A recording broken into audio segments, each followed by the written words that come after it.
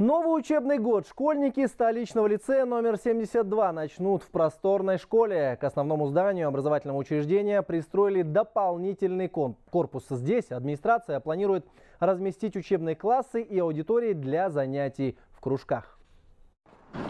Огромные банты, яркие букеты, первый школьный звонок и перемены. К лучшему. Школа-лицей номер 72 стала просторнее. Здесь открыли дополнительный корпус. В прошлом году в здании на 1200 мест учились почти 3000 школьников. Пристройка позволит разместить 900 учеников, а также появится место для организации кружков.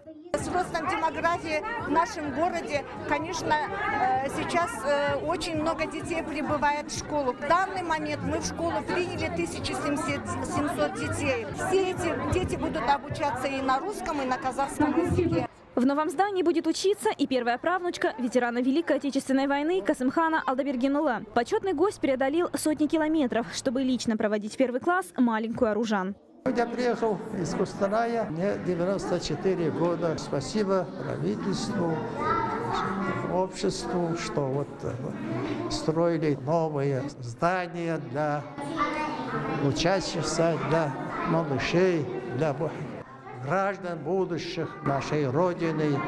Касымхан Ата поздравил с новым учебным годом и родителей, и самих первоклашек. В этом году порог этой школы впервые переступили почти 500 учеников. Гульнара Хасан, Курган Тургважа, Ирзат Заидхан, Хабар 24, Астана.